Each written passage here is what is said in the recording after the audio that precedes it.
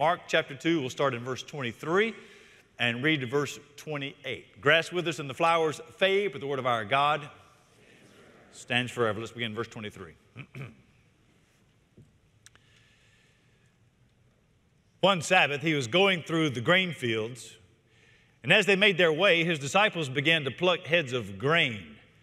The Pharisees were saying to him, Look, why are they doing what is not lawful on the Sabbath?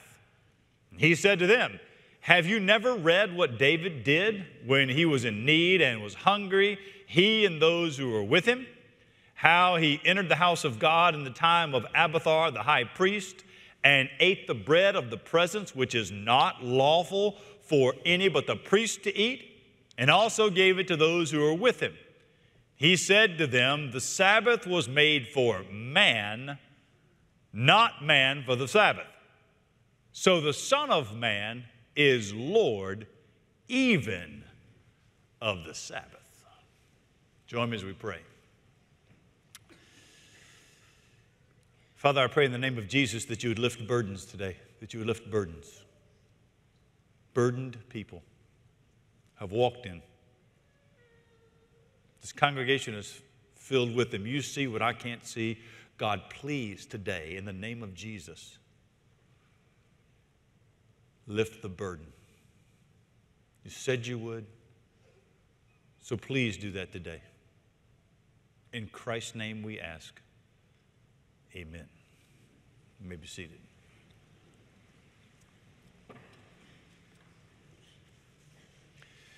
In the early 1940s, as World War II raged on, the Nazi war machine turned its attention from going west toward England to going east into Russia, but they needed manpower. With all of the available soldiers at the front, the factories were shutting down, the armaments were not producing. They had come up with something called the final solution. That was the full extermination of the Jewish population in Europe and Eastern Europe. The final solution included gas chambers and death camps. It's a horrific thing. You've seen it in history. But as the war raged on, the Nazi regime needed people to work, and so they started taking people out of the death camps and putting them into slave labor.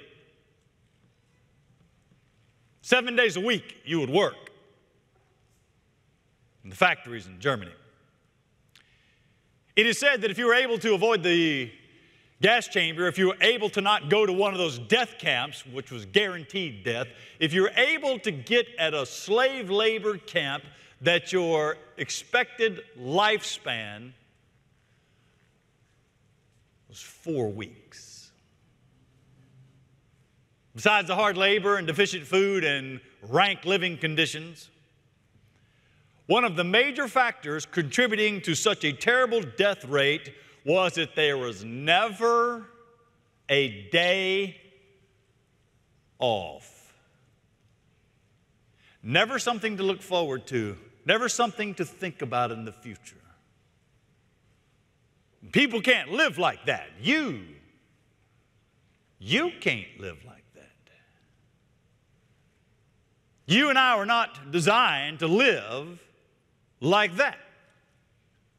From the very dawn of creation in Genesis chapter 1 and 2, God designed man and woman, human beings, to have one day that is unlike any other day. A day that is set aside. He will even go so far, God that is, He will even go so far as to take and make the Sabbath day one of the Ten Commandments. When you read the Ten Commandments, you find out that the commandment on the Sabbath day is the longest of the Ten Commandments. He did that for a reason. He did that so that humans would flourish. He did that so that his people would flourish as they went into the land. Like so many other good things that God does, over the centuries, the thinkers, the religious leaders would build fence after fence after fence around the commandment. In order, they said, to protect the commandment, but fence after fence after fence By the time Jesus shows up on the scene in Mark chapter 2, a commandment that a commandment that was given for the good of people, for the freeing of the people, had become harsh and restrictive and legalistic, perverting God's, perverting God's good intent for that one day. In the passage before us, Jesus is in trouble again. In fact, the sequence is here. There's six times back to back to back. Mark is writing to a Gentile church in Rome. He wrote this for the new church to show them Jesus is full of grace and how he's in trouble and trouble and trouble. First time we hear of Jesus being in trouble is that he claims to have the authority to forgive sins. Remember that with the paralytic?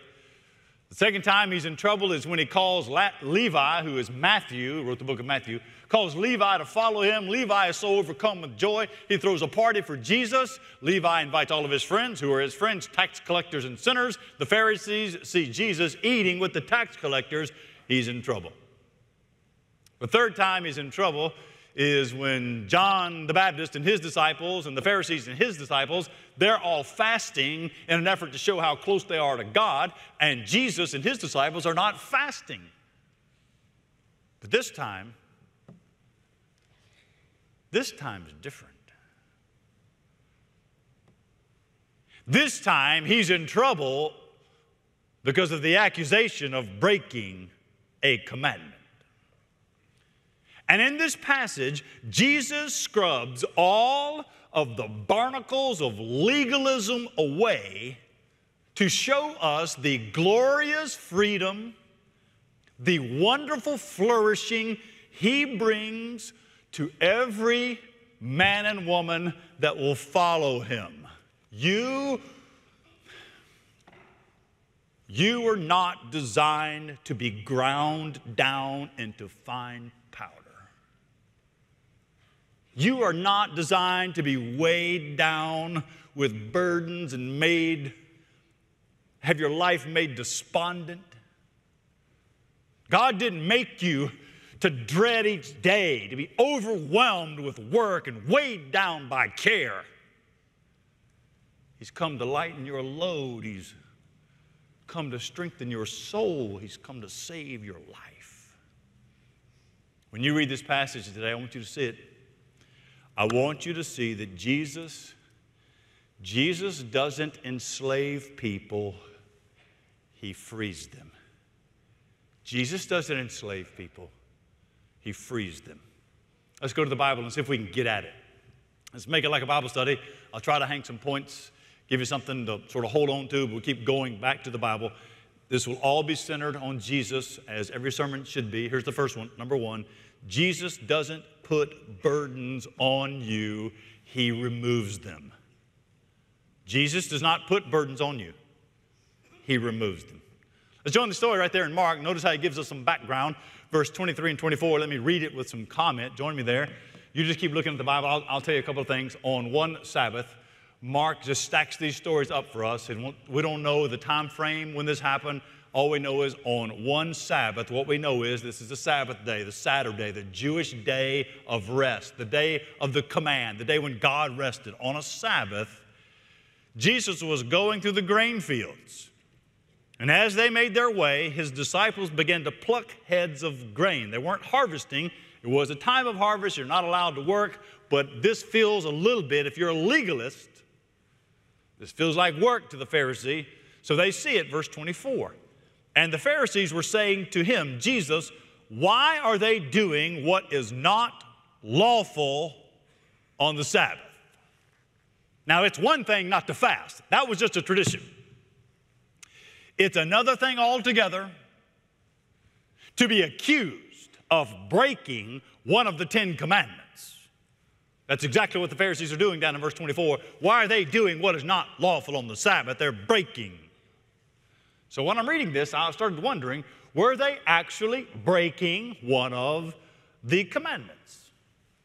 I mean, the commandment is to keep the Sabbath day holy, you're not working, so harvesting would be working. So if they were harvesting those grains, yes, then they were breaking it. But Deuteronomy tells us Deuteronomy 23, verse 25 says that you can pick the kernels with your hands, but you couldn't put a sickle to the standing grain. Sort of the welfare system in Judaism was if you were harvesting a field, you'd keep the corners so that those that didn't have anything could walk through and have something to eat. So it was allowed to do that. Maybe, maybe that's not what the Pharisees were talking about. Maybe they were talking about the fact that they were walking.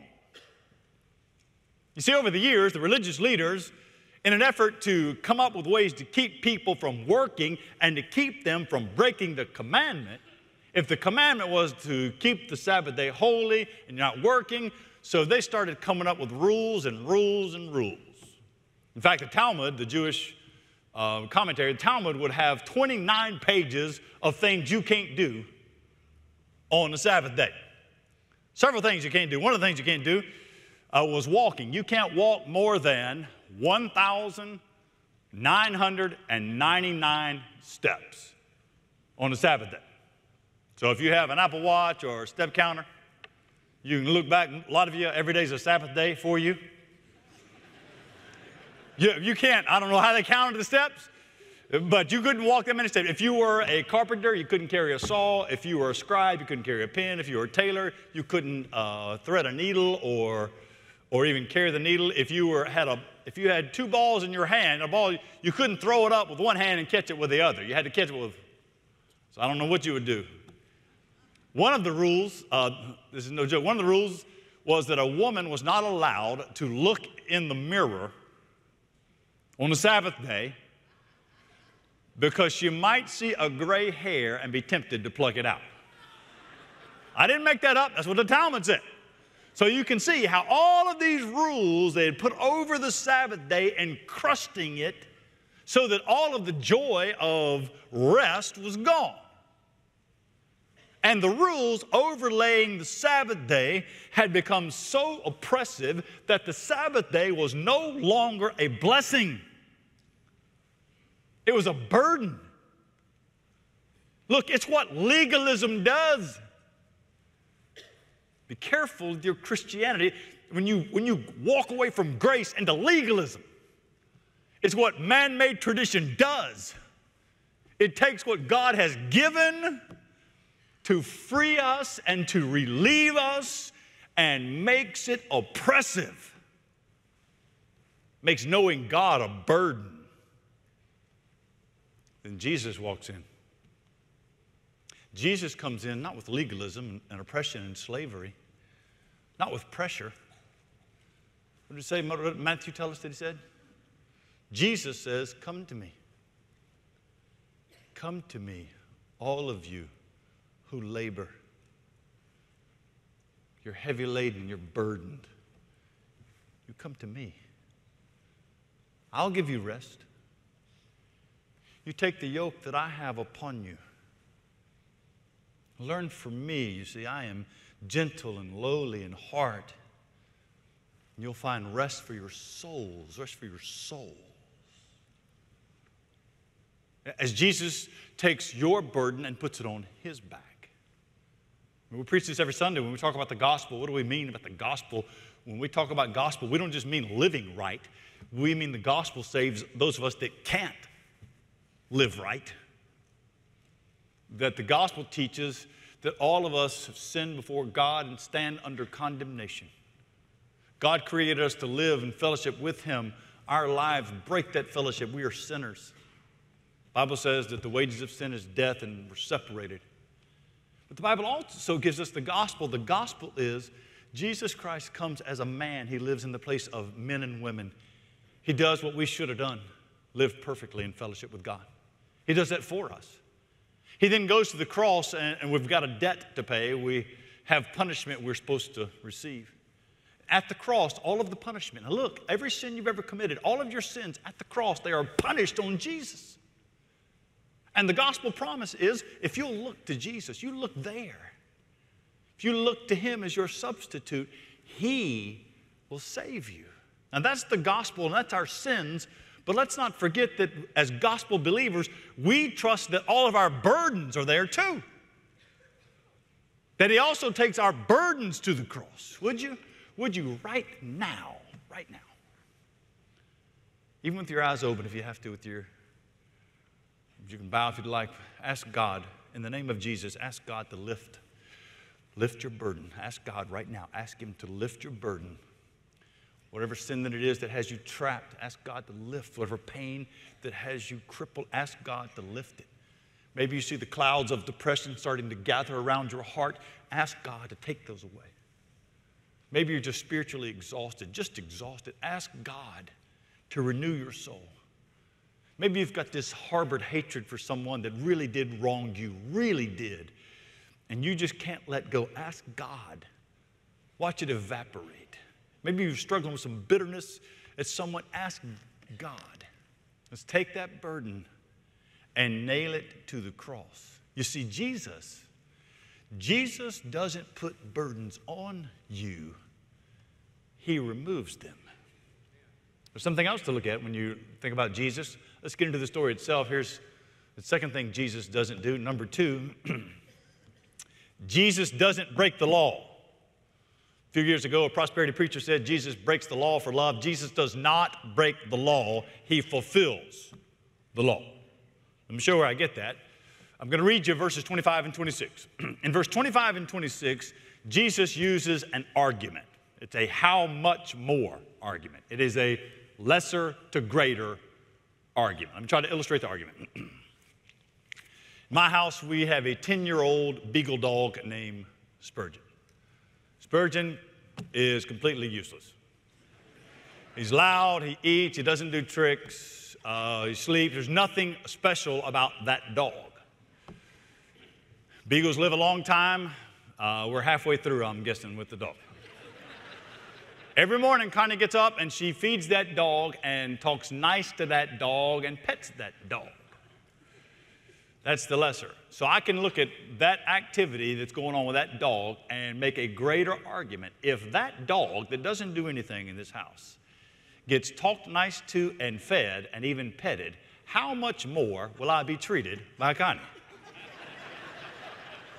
I find myself comparing myself to a dog.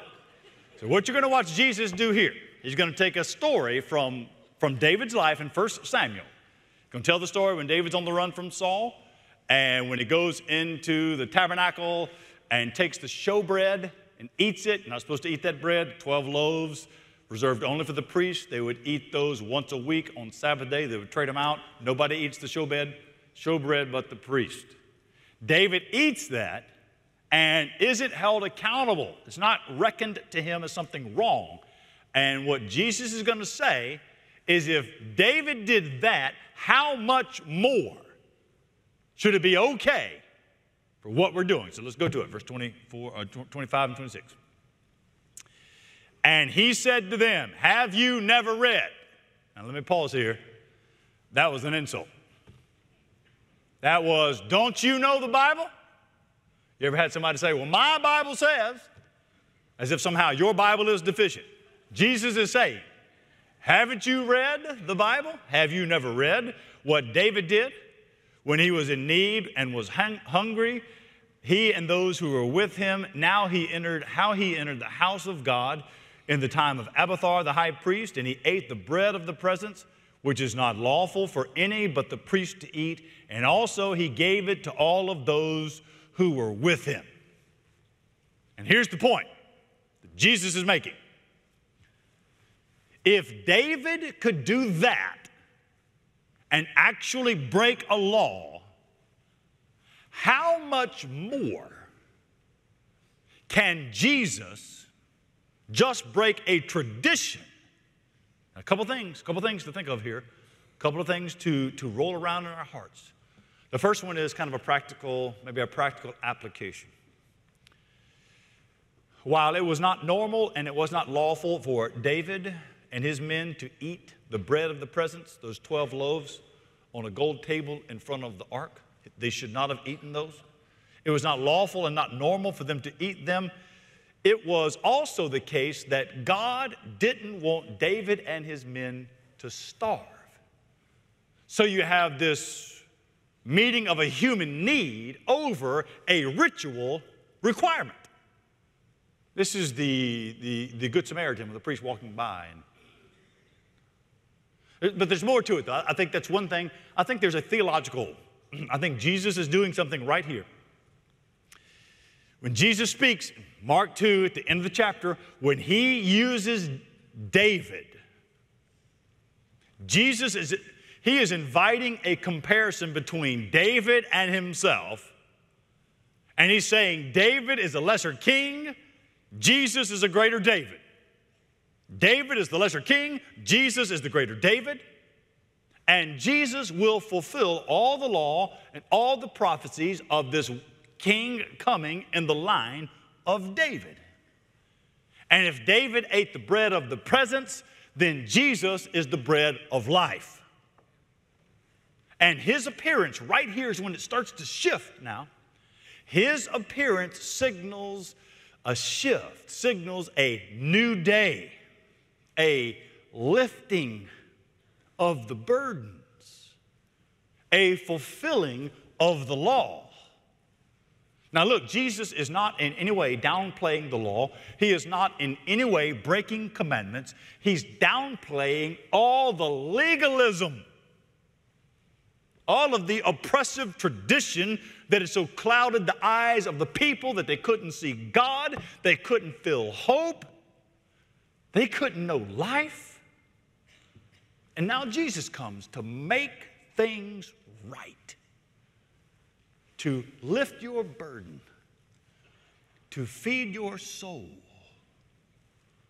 There's so many, so many. There are so many people sitting in the congregation right now that feel empty and hollow and listless and detached. And here comes Jesus, who fulfills all the requirements all the requirements that God has for His people, all of the hard discipline, all of the keeping of the law.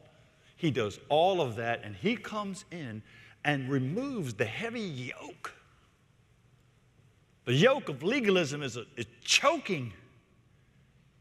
He removes the heavy yoke of legalism and He attaches to you a yoke of grace. You can't even feel it.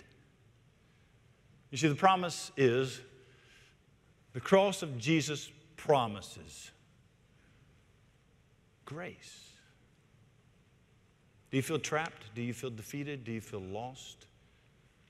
Listen, Jesus doesn't, Jesus doesn't enslave people. He frees them. He doesn't put burdens on you, he, he removes them. Jesus did it, he didn't do it by breaking the law, he fulfills it. Let's pick up the pace a little bit. it gets astounding here in verse 27 and verse 28. I'll give you the third thing Jesus doesn't do. Number three, Jesus doesn't bind us. Jesus doesn't bind us, he frees us. Let me show you what I mean. Verse 27, it's, it's a remarkable and revolutionary thing for Jesus to say in verse 27. And he said to them, The Sabbath Look even how it's said, it's poetic. The Sabbath was made for man and not man for the Sabbath. On either end of the sentence is the word Sabbath. Rest is made for man in the middle. Says to the Pharisees, You got it all wrong. God made this day to serve man's needs. He didn't make man to serve this day's needs. Why, why did God give us the Sabbath? Why? Why did He make it so that in the pattern there are six days to work, one to rest? Well, very basically, He just gave us that one. We need a day of rest. You need to rest. You need a day of rest. You are not Superman or Superwoman. You need rest. God gave us a day. You, he did that by design. You are designed to have a day to rest. You are designed to have a day where you worship. Where that day is different, you worship. A day where you remember the good grace of God, that you have a God that loves you. You remember that. That day is given to God's people to distinguish us from other people. When there are other worldly pursuits, God's people have a different day to be distinguished, to, to protest against a culture that has turned its back on God. This is a form of protest. This day shows dependence. One day you say, I'm not working today, I know I got to provide. We're trusting that God provides. One day, this one day is imitating God from creation. He didn't need to rest. After six days of creation, He did. And we, as His people, we imitate Him to, to celebrate creation. Why is the Sabbath given to mankind? It's for the good of your body, it's the good of your soul, so that we don't get weary. The Sabbath then was given to point us to the greater rest that is in Christ. What do, the, what do Christians do with the Sabbath? Why don't we go to church on a Saturday? The writer of Hebrews speaks to this and he writes about it in Hebrews chapter 4, verses 9 and 10. He says, that, So then, so then, there remains a Sabbath rest for the people of God. For whoever has entered God's rest has also rested from his works as God did. Andy Davis, the great pastor at First Baptist Durham, North Carolina, the brilliant man. Andy Davis tells us that the days are different, and here's why. The Old Covenant in the Old Testament looks back at creation and the law and the Sabbath. The New Covenant looks forward to the new creation and the Lord's day. The Old Covenant has its week ending with the Sabbath. The New Covenant has its week starting with the Lord's day. I think Paul, when he wrote to the church at Colossae, is very helpful. Colossians chapter 2, verse 16 and 17 is very helpful when I think through why do we worship like we do on a Sunday. This is what he says. Therefore, let no one pass judgment on you in questions of food and drink, or with regard to a festival, or a new moon, slow down, or a Sabbath. These, the Sabbath, these are a shadow of the things to come. They point to the things that are coming, but the substance belongs to Christ. You see, our, our rest is in Christ. Our joy is in Christ. Our, our strength is in Christ. Our righteousness before God is in Christ. Our purpose in life, our direction, the forgiveness we receive is in Jesus. Rest, your soul's rest. You see, Jesus doesn't bind us, He frees us. What is it then? What is it? What is it that's got you all bound up? Is it un, unconfessed sin? Is it an unsure future? Is it, is it some sort of unresolved pain? Is it an unreconciled friendship? What is it? What has you like that? Jesus comes not to bind you, the gospel comes to free us. That's verse 27. Let me give you one last, one last bombshell from Jesus down in verse 28. I'll just give this point the title Jesus is Lord. Jesus is Lord. Join me there in verse 28. You read it, you read it for yourself. It's astounding. Jesus says, So the Son of Man is Lord even of the Sabbath. That's a bombshell. This is a declaration of deity. Here is Jesus on the very front end of his ministry. Here is Jesus making a divine claim. Here is Jesus claiming the divine right over the law. Here is Jesus saying, I was there at creation. In the beginning was the Word, and the Word was with God, and the Word was God. He was there. There at the giving of the law. I have the right, Jesus is saying. I am the ruler of this day. I am the sovereign Lord of the Sabbath, sovereign ruler of this day. I am the interpreter of God's will for this day. You don't set the standard of behavior on the Sabbath day, I do. This is a truth claim. Here is, here's the truth claim that Jesus is God and He's worthy of your worship. He took the burden of sin, every sin, every sin, name them. He took the burden of sin, every sin. And He carried those sins to the cross. He died there for the burden on a Friday. Count the days out with me now. Count the days out. On a Friday. On a Saturday, he lay still. Saturday's the Sabbath, the Jewish Sabbath. Jesus kept the last and final Sabbath lay still. A new covenant comes. A new covenant on the Lord's day. God raised him from the dead on a Lord's day. On a Sunday, God raised him from the dead. Victory and hope and grace and smashing legalism. God raised him from the dead on a Sunday. Now he calls for all of you to come, to enter that rest. By faith, unyoke yourself from all that other. Take on the yoke of grace that is Christ. Come to Jesus.